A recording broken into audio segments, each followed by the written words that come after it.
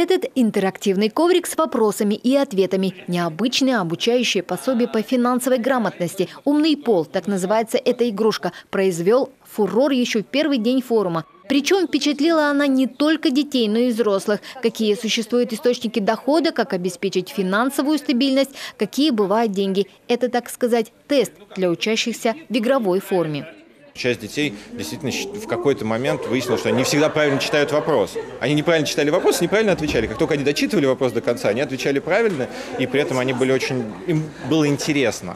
При этом, кажется, шестой, седьмой класс, ну что им там бегать-то? Они с удовольствием бегали буквально через 10 минут после того, как они понимали, что это интересно. И главное, они получали от этого отдачу, потому что им, им учитель был практически не нужен при этом.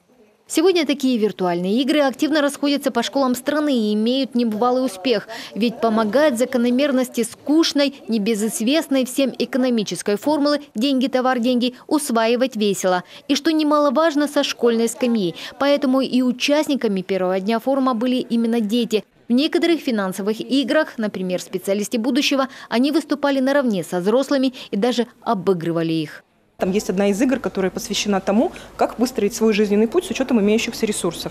У нас дети играют, играют взрослые. То есть есть, допустим, тебе 14 лет, ты заканчиваешь, ну, там, 15 лет, да, там находишься в последней стадии, либо заканчиваешь школу, у тебя есть определенные ресурсы, там два раза помощь родителей, это финансовые средства, ты должен дойти до 45 лет состоявшимся успешным человеком.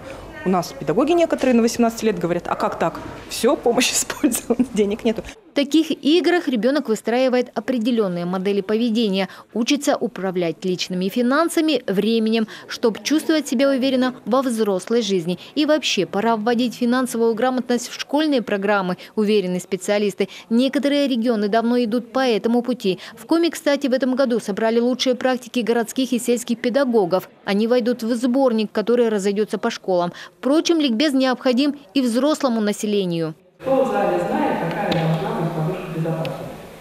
Чем больше, тем лучше.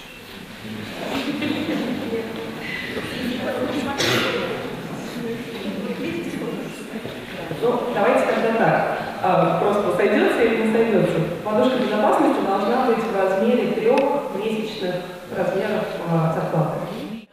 Менее, в Коме идет большая работа по повышению финансовой грамотности населения. Речь идет, например, о проекте «Народный бюджет», в рамках которого жители республики сами выбирают, на что направить выделенные средства.